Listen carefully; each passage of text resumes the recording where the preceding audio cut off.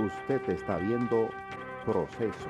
Para comunicarse con nosotros, llame al 809-381-0545 o escriba a redacción.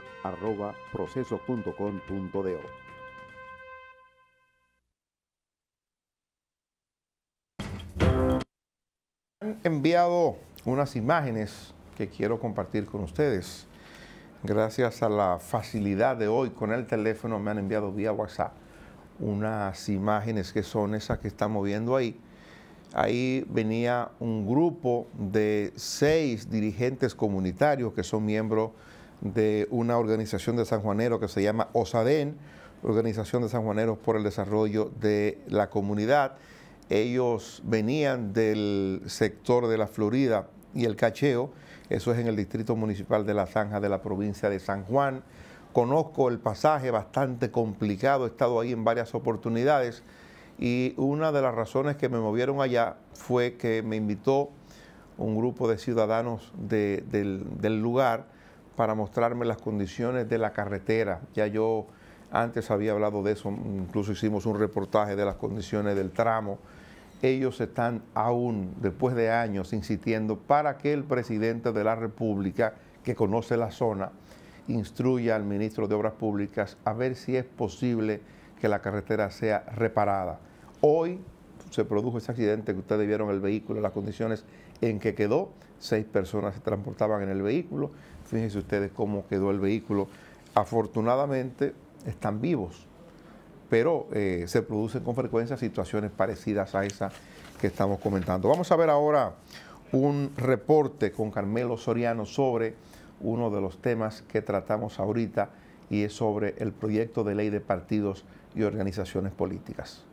El debate en torno al proyecto de ley de partidos y agrupaciones políticas se encendió la semana pasada en el Congreso Nacional. En la Cámara de Diputados no hay posibilidad numérica de poder eh, progresar que los partidos, o sea, que las primarias abiertas sean las reglas. La batalla que libran danilistas y leonelistas. Por primarias abiertas o cerradas, aliados y opositores parecen tener los votos para inclinar la balanza hacia uno u otro sector, a lo interno del Partido de la Liberación Dominicana, agrupación política que tiene la llave para que en el país exista una normativa que rija los procesos electorales.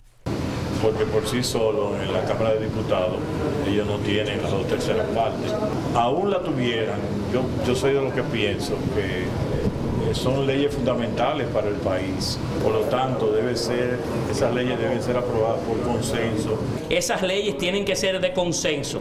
No basta con que un grupo político o un partido político de manera específica se escuche a sí mismo. Hace falta un esfuerzo colectivo. La bancada mayoritaria eh, dice con la boca que la quiere, pero con sus actuaciones eh, nos está indicando que no la quiere. La iniciativa está en el Senado, donde el bloque del PLD debió fijar posición en torno a una de las modalidades de primarias el pasado miércoles, lo que no fue posible por falta de quórum, de acuerdo al vocero de los morados en ese hemiciclo, quien dejó claro que el sector que representa no está interesado en avasallar. En el PLD hay el máximo y el sumo interés de que nos pongamos de acuerdo y que se haga de la mejor forma posible. El martes a las 3, en la reunión que está convocada, ya el bloque se pronunciará de manera formal. Sin embargo, se da como un hecho que allí la propuesta de Danilo aplastará a la de Leonel. Hasta ahora tenemos más de 23 senadores, es una ley con mayoría calificada y creemos que eventualmente será aprobada.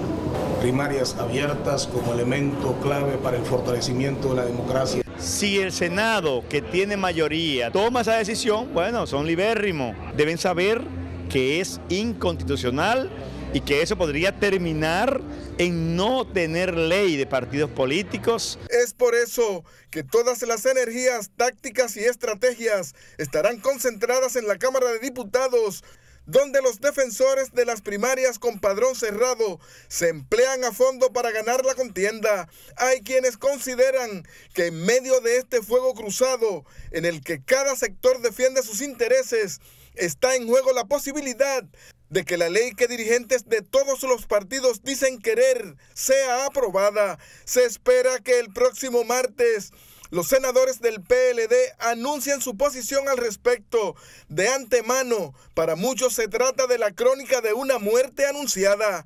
Para proceso, Carmelo Soriano. Bueno, ya ustedes vieron, eso, ellos se van a pronunciar a las 3 el martes en el Senado. Yo puedo adelantar cuál es el pronunciamiento. Ellos van a anunciar que van a apoyar el proyecto que le ha sido sometido en la dirección que ya le comentaba en la dirección de establecer en el proyecto primarias abiertas y primarias con el padrón abierto, padrón de la Junta y simultáneas. Vamos a ver ahora un reporte que nos ha preparado Betty Castillo que se llama Educación.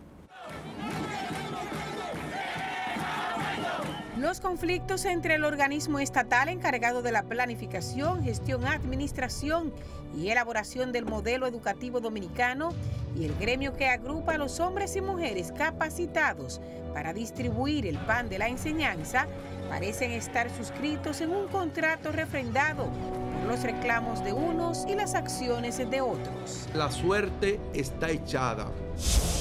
Porque lo que no debemos permitir es el chantaje ante los últimos conflictos generados por la Ordenanza 24-2017, que reglamenta el sistema competitivo de selección de directores regionales, el ministro Andrés Navarro, en busca de privilegiar el diálogo con la Asociación Dominicana de Profesores y con los demás sectores de la comunidad educativa, designó en febrero como canal de coordinación a su jefe de gabinete, un hombre al que se le atribuye un poder en el ministerio que le ha permitido colocar en puestos claves a parientes y allegados. Se trata de Julio César Santana Rosario, quien, por su cargo de director general de gabinete ministerial, devenga un salario base de 200 mil pesos, que con un descuento de 46 mil 383 pesos con 91 centavos por concepto de seguro de vida, salud, impuestos sobre la renta y contribución como empleado al seguro de pensiones, recibe 153.617 pesos con 9 centavos. Miguelina Altagracia Santana Báez se dice que es hermana del jefe de gabinete ministerial. Su sueldo base como directora de gestión inmobiliaria es de 189 mil pesos que por descuentos de ley le queda en 145.603 pesos con 87 centavos. El jefe de gabinete ministerial no solo tiene en el MINER a hermanos, la directora general de Recursos Humanos, Maritza Miranda, es su esposa. Su salario base es de 189 mil pesos. El listado de parientes del jefe de gabinete del Ministerio de Educación incluye a su hermano Eduardo Santana, quien dirige el área de República Digital, mientras que Abraham Rudecindo Miranda, hermano de la directora general de Recursos Humanos, entiéndase, cuñado del director general de gabinete, devenga un salario como director de almacén de 65 mil pesos, además de su apellido, Santana, y del de su esposa, Miranda, al jefe de gabinete ministerial se le atribuye poder para ubicar en cargos estratégicos a los Fersobe y a los Cáceres. A partir de ahí, Miguel Alejandro Fersobe Pichardo es director general de participación comunitaria con un sueldo base de 189 mil pesos. Otro Fersobe Pichardo lleva el nombre de Ernesto Javier, que al igual que Abraham Miranda, es director de almacén con 110 mil pesos de sueldo base Francisco Enrique de Jesús Cáceres Mendoza forma parte también del personal dispuesto por el jefe de gabinete. Su cargo es director de descentralización, por el cual tiene un salario de 189 mil pesos. Melvin Alexander Cáceres Arias es hermano de Francisco Enrique. Aparece registrado como director de servicios generales con un sueldo base de 140 mil 810 pesos con 65 centavos. Alberto Antonio es otro de los Cáceres favorecidos con un empleo en el gabinete del Ministerio de Educación. Gana 35 mil pesos de salario.